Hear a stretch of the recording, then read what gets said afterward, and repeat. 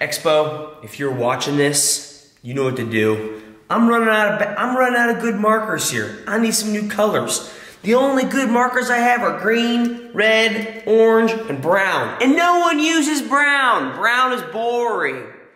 Plus, red and orange look like each other. And green, well, green's hard to erase off a board. Looks like boogers.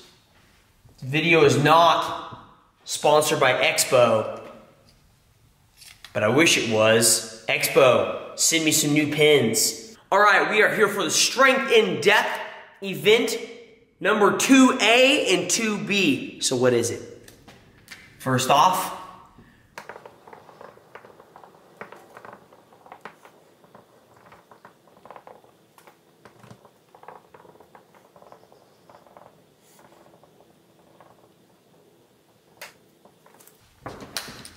There it is, ladies and gents.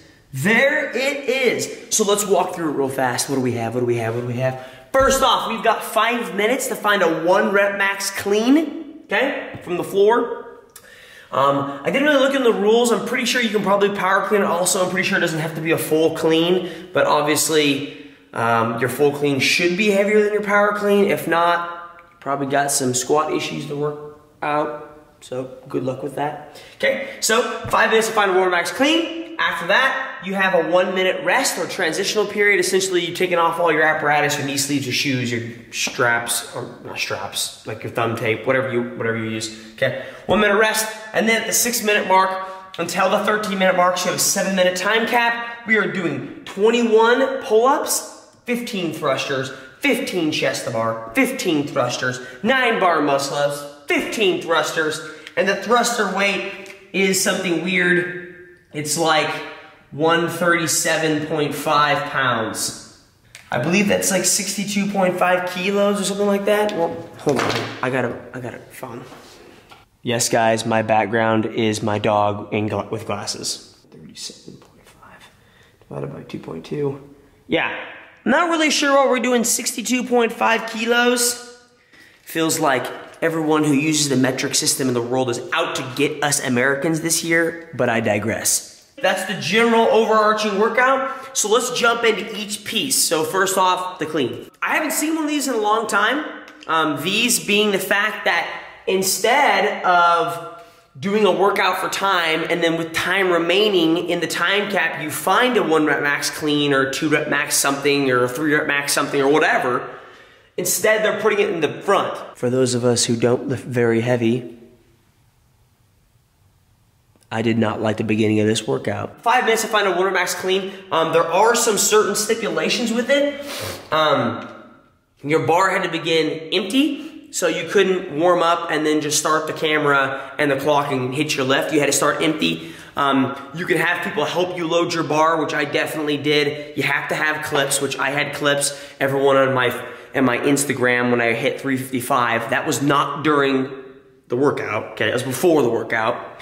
Everyone's like, where your clips at? Where your clips at? Hey, yo, clip police, chill out, okay? No one cares, all right? So you don't need clips. But if you're doing it in the workout, you need clips. And I had clips, and I used them. They had some weird rule that you could only make jumps of 1.25 per side meaning 2.5 pounds total, or essentially a kilo. You could only jump by kilos increments, so you couldn't add one pound plates, which is like a fractional plate for a kilo, which uh, I didn't have to worry about, so whatever, okay?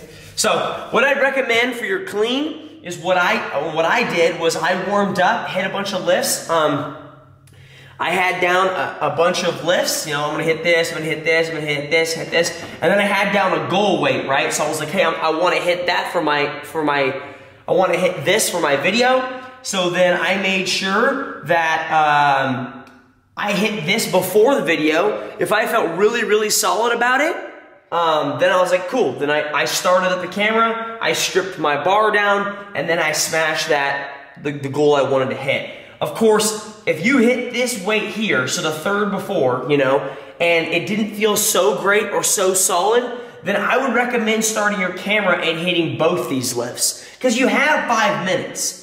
right? So you can easily hit a lift at the 40 second mark because you got the figure you're gonna be loading your bar, right? You're gonna have to have people load your bar and that's not, that's gonna take a little bit of time. So you can, you can hit a lift at your, at your 40 second marks, that's your first lift, right? And that's this one right here. And then you can hit your second lift at, you know, at, at 320 or whatever, and that's your second lift, and that's the, the star lift you wanna hit. And, and you still have, you know, at that point, if you hit your lift at 320 and you know you get done at four, depending upon how long it takes you to stand out of the hole, I guess, you still have two minutes of transitional time before you start the next workout, which is a lot of time.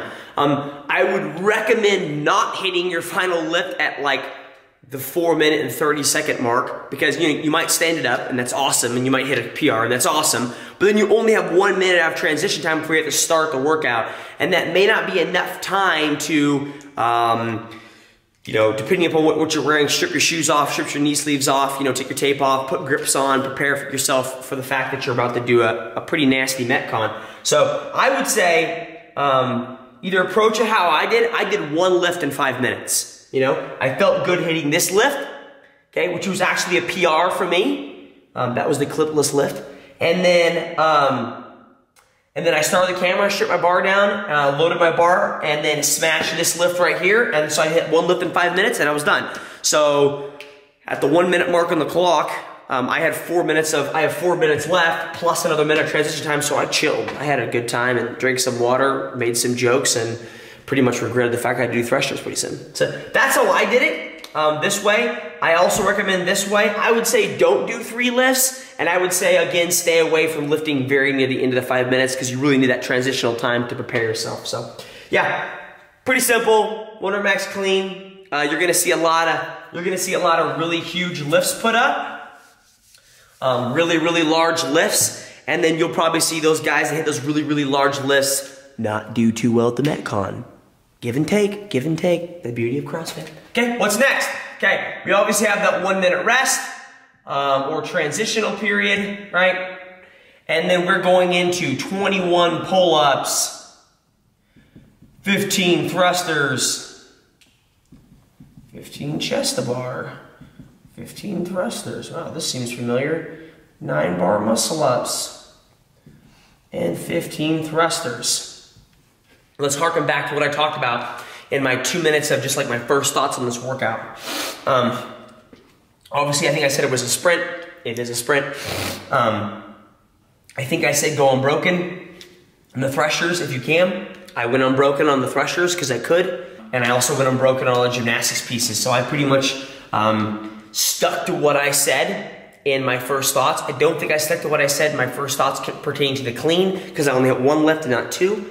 Um, but anyways, so for this workout, we're approaching it. It is a sprint. We are going ham. It's kind of a little rendition of Fran, right? So we've got 2159. Um, the thrusters are still add up to 45 reps in total. It's just they're not decreasing. It's not 21 thrusters and then 15. The nine is 15 every time, which kind of sucks. Honestly, it was kind of terrible.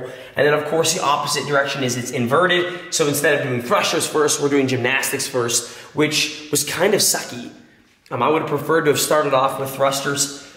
Um, and the reason for that being is just like I talked about my first thoughts, this little section right here blows pretty bad. Um, so anyways, we got, we'll start from the top, right? Um, first of all, how it fits into the clean, but I would recommend you're not gonna have to really worry about your thrusters. Make sure you warm up your overhead positioning is really the only difference, but you're not gonna have to warm up your bottom position for thrusters or your squats because you're already squat cleaning. Unless of course you're power cleaning, then that's another issue. You should look into that.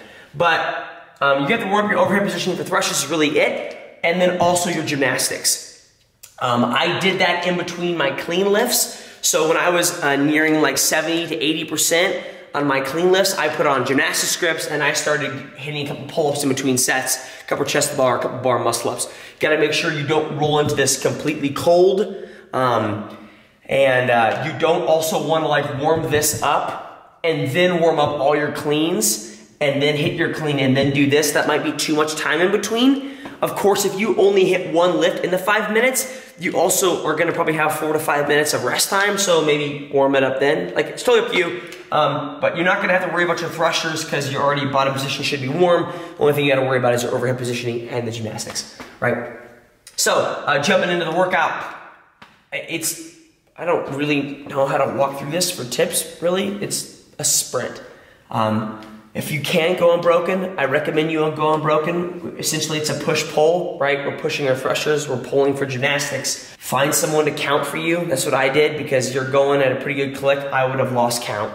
I would have probably done either less reps or more reps or just miscounted because it's going at a pretty good click. I think for my thrusters, like we've talked about in the past, we talk about um, quick uh, with quick with uh, little rest, I think is what I'm, or maybe it's fast with quick rest, you get the point.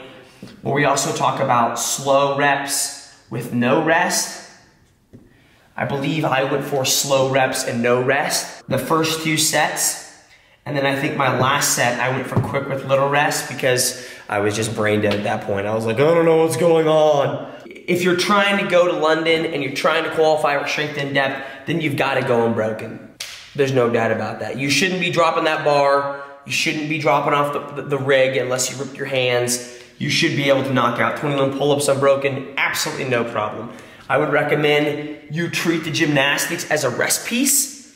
Um, I would recommend not going as fast as you possibly can in the gymnastics because you need to be able to breathe through that because you're gonna need to come back to these thrusters. And like I mentioned, the worst part of this workout is the fact that it's gymnastics heavy in the beginning, and then at the end it's thruster heavy because of the decreasing gymnastics reps. So at the end, you're doing 15 thrusters, you're getting off, you're shaking up, you're jumping up, knocking out nine bar muscle ups, which is which is pretty taxing, and then you're getting off and you're going back to 15 thrusters. That's the worst part of the workout, and this is where you're gonna have to really push through. But anyways, it was a really cool little couplet. Um, it was sucky. It reminded me of Fran. I had Fran cough at the end. It was it was Franish, if that's a word, very Franish. But yeah, was. I think it was a good workout by Strength in Depth. It was different. You put the clean first, which is different than a lot of competitions you do or online qualifiers. So you know, kudos to them for trying something new. If you have any questions or comments, feel free to put them below. Um, I'll be responding to all those. If you are attempting this in the next day, good luck. Go crush it. Um, I'm leaving here. I'm going to the gym, and we're gonna knock out qualifying event number one, which is the row, the toes to bar, and the power snatch. And so I should have the tips related to that video up tomorrow, hopefully, um, when I film it. And so, yeah, guys, good luck. Have fun. Um, crush the workouts. Get yourself a clean PR. Go crush this. Get yourself a little Fran cough. You deserve it. You deserve it. Good luck. Have fun. Thanks for watching.